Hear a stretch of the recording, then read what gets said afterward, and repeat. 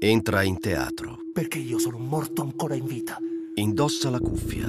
Perché io sono un vivo già morto. Sei in radio. E Johnny prese il fucile